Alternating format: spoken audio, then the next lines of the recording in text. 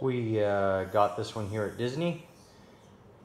It's uh, where you put your dirty utensils while stirring soup, etc. on the stove. You can see, there it is, authentic.